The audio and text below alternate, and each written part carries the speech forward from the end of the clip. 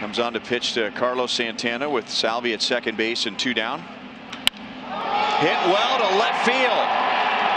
There's base hit number six, and it's a two-run home run. So they specifically, when I say they, the Angels, they wanted him batting right-handed. well, you want insurance runs? You got it instantly. Sidearmer from the left side lets him see the ball greatly.